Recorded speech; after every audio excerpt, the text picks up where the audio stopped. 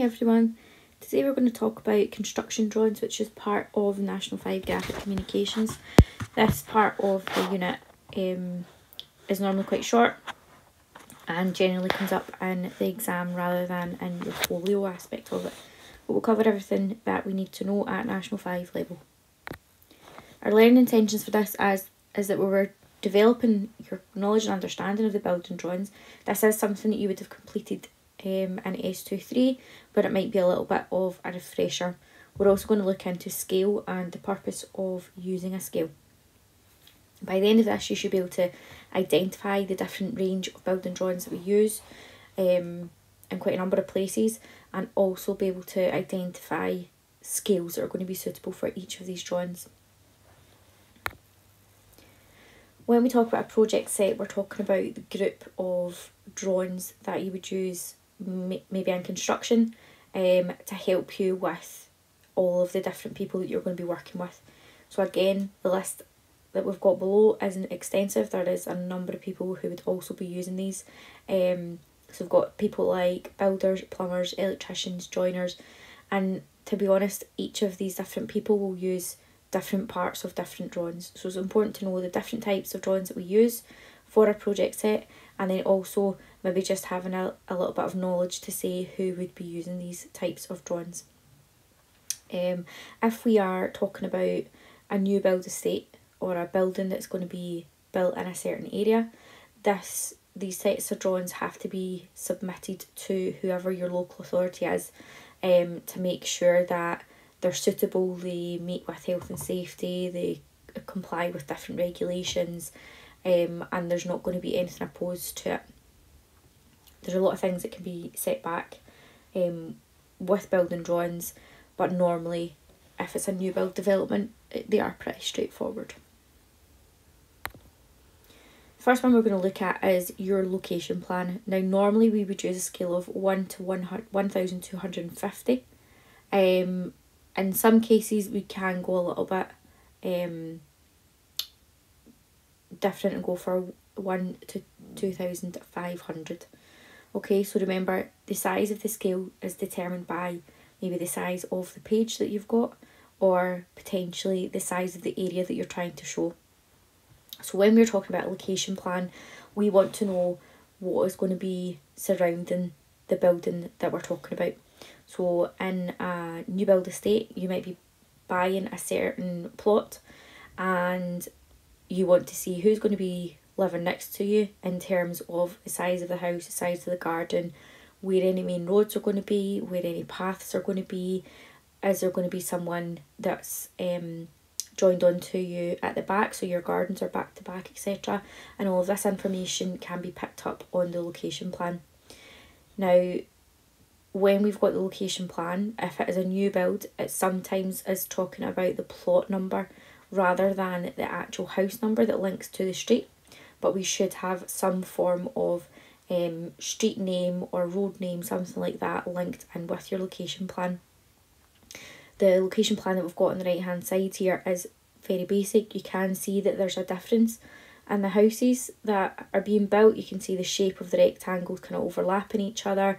You can see the shapes of the gardens. You can see the bend in the road. Um, and then also we've got a kind of thinner line, double line next to the road which is identified as your pavement or your kind of footpath, whatever you want to call it. Um, and then up the top left of this location plan, we've got our north symbol. So that's a symbol that you need to learn and obviously pointing in the direction of north.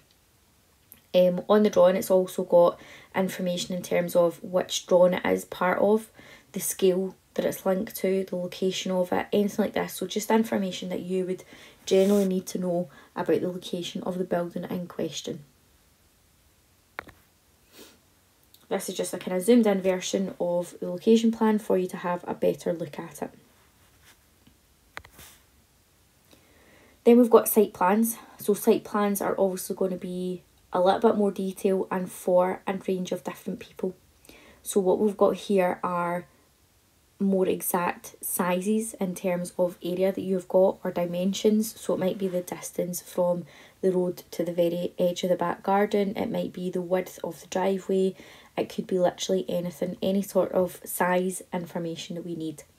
Um, we try and use different colours just to make it a little bit clearer, but again, doesn't always happen. Um, we've got information for different tradespeople that would look into the drainage. So if you've got certain um, pipes or drains or manholes or whatever um, located either in your garden, in your front garden, it might be under your driveway, anything like that, just so that you knew that someone could eventually come round and say that they need a little bit of access to it and that it's in your property. So what you'll notice on this um, site plan is that there are a number of different kind of symbols included. So these symbols just now are included at the end of this presentation, but just now they're talking about existing trees, trees that are going to be removed, um, and positions of new trees if they're going to add any in, depending on where the building is being built, if it's a new build, um, or if there's something already there in place.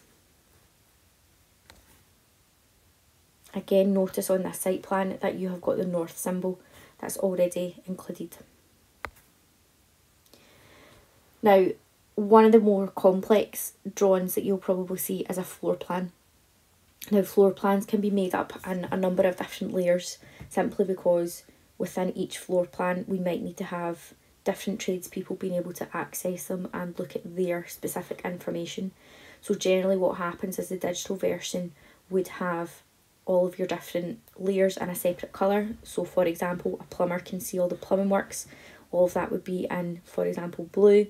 We then might have um, a red layer which is going to be the electrician so we can see where the sockets are going to go, where the wiring's going to be, um, anything like that. And we might also want to have things like windows, doors, all that type of thing in different layers just to make it a little bit clearer. So when we've got all these layers on, it does make it really confusing. But at some points, it might be necessary to have every single layer on to make sure that doors are going to open and they're not going to hit off anything, or the light switch is going to be in an appropriate place for the, the location of the door, etc. So again, it's useful to have digital versions of the floor plans so that you can turn layers on and off um, for each of the different tradespeople. Normally when we're talking about a floor plan, we're looking at a scale of 1 to 50. Now we obviously want to have a very accurate scale drawn of a floor plan so that if you are planning to move into somewhere, you can say, right, I know the size that my, that my bed's going to fit in that exact position for my bedroom, or I could get a bigger bed, a smaller bed, anything like that. Um, within our floor plans, we want to know about the dimensions to be um, the main thing. We've then got information like plumbing, so where toilets are going to be, is there going to be any outside taps, where's the taps going to be in the kitchen, um, where is everything going to be located in the bathroom. For your electrical one, we want to know where not only light switches are, but plug sockets. Plug sockets are an important one um, if you're trying to imagine what the layout of your house is going to look like. We've then got things like your foundations and your block work. So for your walls, um, other types of information that we can include are your doors, your windows, um, if there is a fixed position for um, anything that would be in your bathroom, so like a sink, a shower, um, a toilet, anything like that. Um, and another thing that's also quite good is to include kind of storage areas, so having that identified on your floor plan. So when you look at this, this is a very, very busy floor plan but you can see that there's a range of different things going on and if we were to have this all in colours and turn the layers on and off it would be a little bit more simplistic for you to see. Okay, a more simpler version of a floor plan is shown in this graphic. Um, now what we can see is that we've got um, double doors on the kind of right hand side which is your two quarter circles with your line um, we've also got a fire exit on the left hand side which is shown as double doors again. Notice that you can see which way the doors are opening. So on the left hand side they're opening out the way, on the right hand side they're opening in the way so you can see the direction that the door would move in terms of the little um, part of the circle. We've got your major dimensions there. You've got the kind of little angle on the outside for the shape because obviously it's not a kind of square or rectangular shape that you've got but it has got details of these different bits and pieces um, there.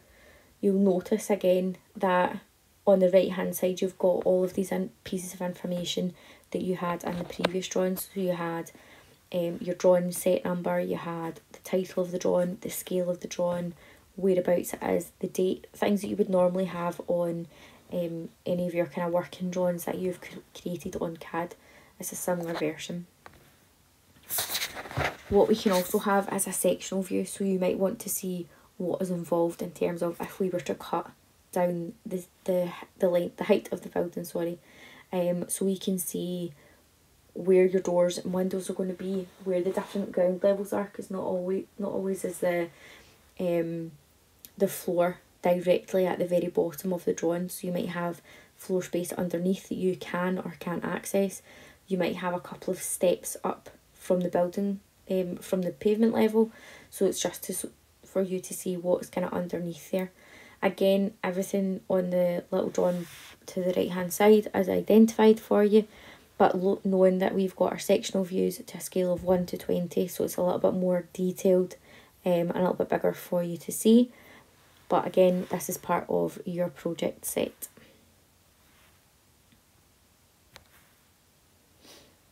Okay, so again, this is just a second um, image of a sectional view. You can kind of see it a little bit more clearly.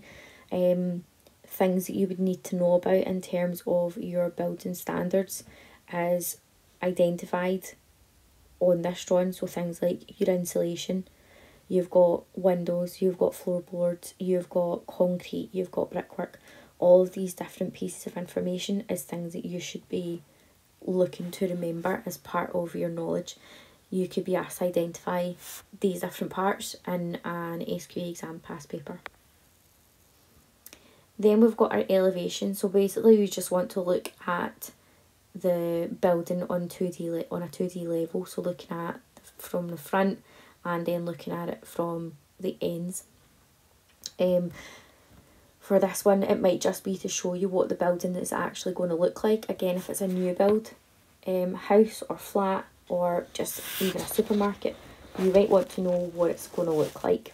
Has it got multiple floors? Has it got windows all aligned with each other? Has it got garage? Um, has it a garage door? What does the garage door look like? What do the steps look like? Or um, anything like that. It can also show you the type of window that are being that's been planned to put in to the building. So is it a window that is half down the middle and you can open the window from the, from the centre out?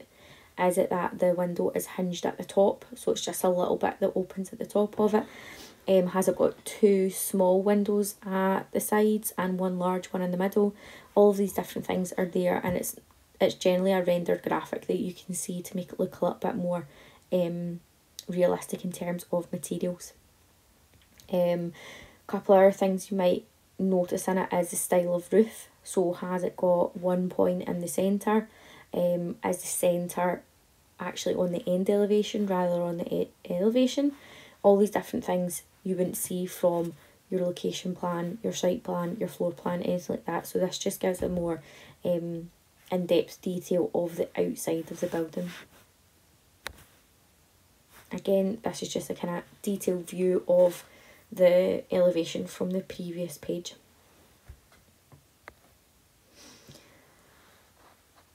BS double eight double eight symbols are something that you need to know for your um, National 5 and higher. At higher level, we'll learn a couple more symbols. At National 5, these are the only ones that we need to know about. So it's important that you learn absolutely every single one of these. Um, some of them will be a little bit more straightforward than others.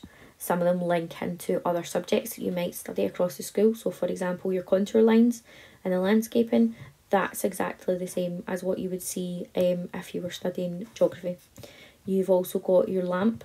This is something that you would notice um, if you were studying physics, engineering science, something like that, okay?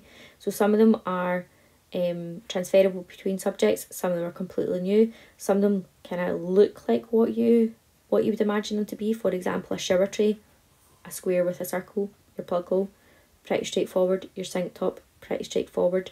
But some of the other ones, in terms of like concrete, brickwork, sawn timber, these ones are slightly different. So it's worthwhile taking time to learn each of these different symbols.